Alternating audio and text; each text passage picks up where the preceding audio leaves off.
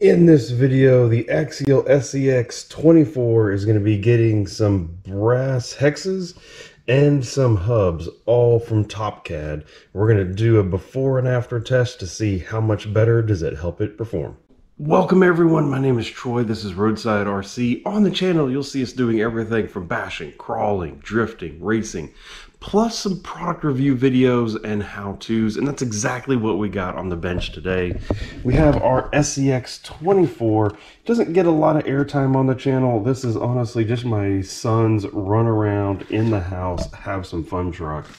But it is I think at this point 100% stock and it needs some help. So we have some uh, hubs here, some brass hubs from TopCAD along with their uh, hexes. They're weighted hexes that are also plus five millimeters in width to widen out the stance a little bit, help it with the rollover because that is the biggest issue that we have with this truck is it is it is very tippy in all of the directions. It is always on its roof. And so we are hoping some of this weight down low gets us uh, a little bit better performance. The first thing that we're gonna do is I have my professional RC crawler driver, James, my eight-year-old son.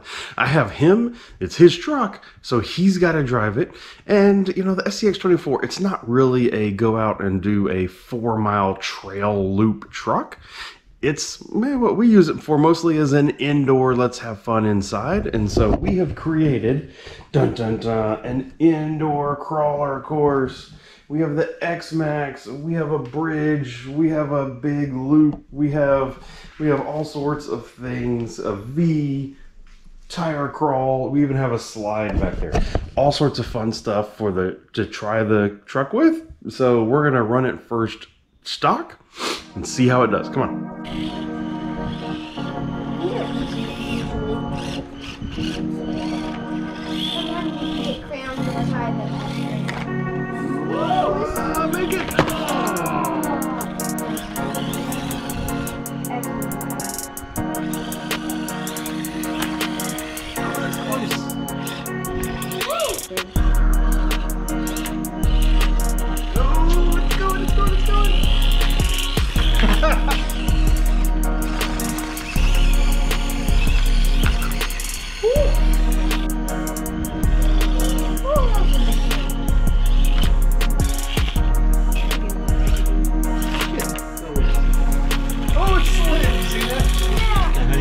Oh, it's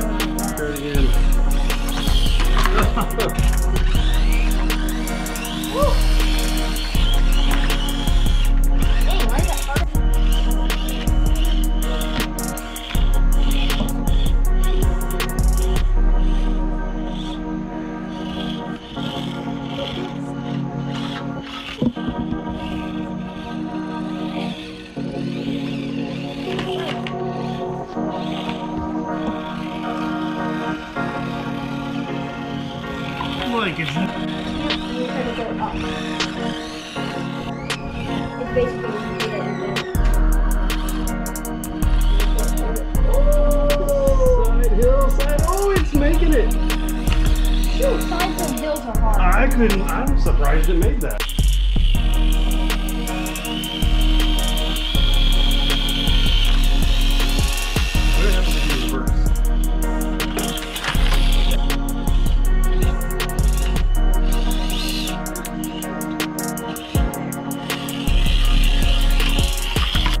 Okay, so honestly, the, the truck actually did a little bit better than I thought it would do on our course. Um, I thought we'd have a lot more rollovers. You know, there's a couple spots where it really struggled.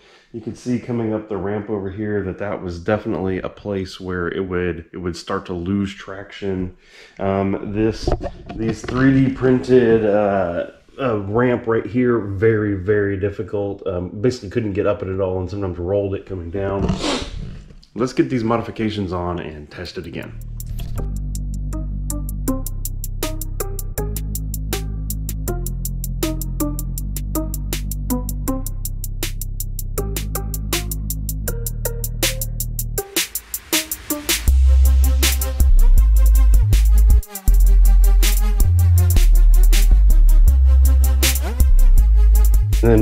Now that we've matched up old versus new parts, I took the axle and the bearings out of them. Have my precision scale here, and it can't. It can't see it. It can't read. It can't read the stock piece. It's so small. It's under a gram. Can't even read it. New piece, six, six grams.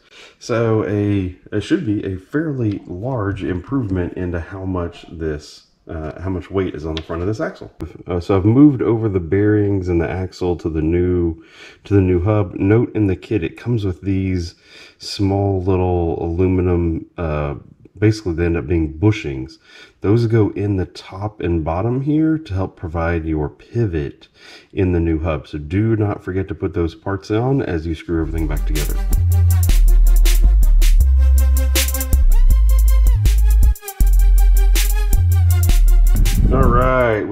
First part of this situation figured out now. There that is. Now the next of it is putting on this extended wheel hex with some additional weight. And now if we come over here again, same thing. Doesn't weigh it at all. 10 grams. So now this 10 plus the 6 from the hub means we are adding 16 grams of weight to each one of the front corners of this truck. Plus we're going to add both of those 10s to the rear also. This is great.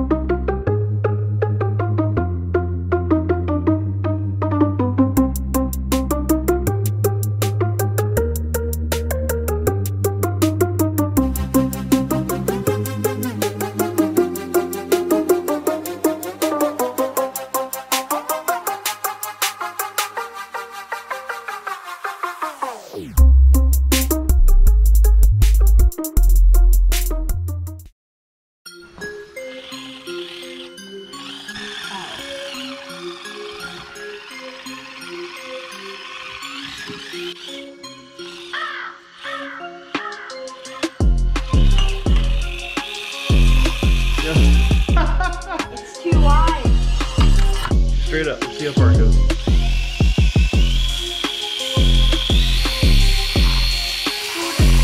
Alright, not so much, no, not so full speed. Full speed. Oh, really? Not as good. Alright, back it up. Try it again, full speed.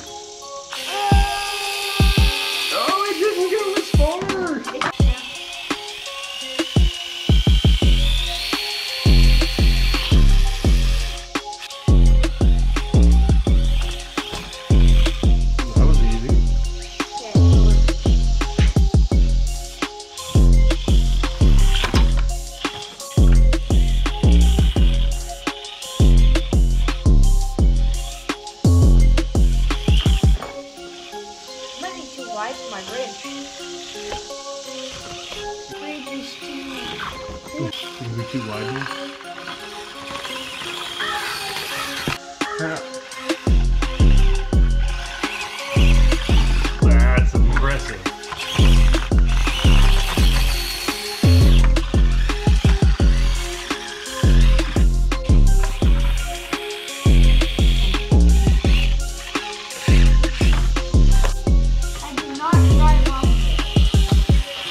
so that was pretty cool. So we were definitely able to add some brass down low. You could clearly see that it made the truck more stable, so less likely to tip. However, all that extra weight, I mean, it's a lot of extra weight on that truck. It legitimately struggled to get uphill. Again, when we showed the white uphill ramp, it did not get to the same spot that it did before. So the extra weight, when it got to a very steep angle, was doing more pulling it back than it was putting it into the ground. Um, but side hill and stuff like that was better. So a couple things uh, that we then went and took the brass off the rear, right? And this is something I typically do with some of my other vehicles. I only put it on the front. I did the same thing here and immediately got that little bit better, you know? The rear's just there dragging around. I don't need the rear to be uh, a, a lot of extra weight on the rear, and so we just took that off. The side hill and all that was still nice and stable with the front end. Um, so that is all better. Did notice that the servo saver seemed to be a little bit a little bit looser now because it has by pushing those front wheels out, it actually puts more of a force on that servo saver. And so what we saw was we saw that the steering was a little bit worse. Go in, I tightened up the servo saver, it got better. So that was just a setting there that needed changing along with the brass. More to come on this though. Course is still set up. We still have more to do to this truck. We have a couple more pieces that we're gonna add on to it, so stay tuned for that. In the meantime, let me know down below, what are the parts that you've used on your SCX24 that have really, really made a big difference in how the truck performed? I'd love to hear it down below. So thank you very much for your support. Come over here, check out some of the other videos that we've already made, and we will see you in the next video. Thank you and goodbye.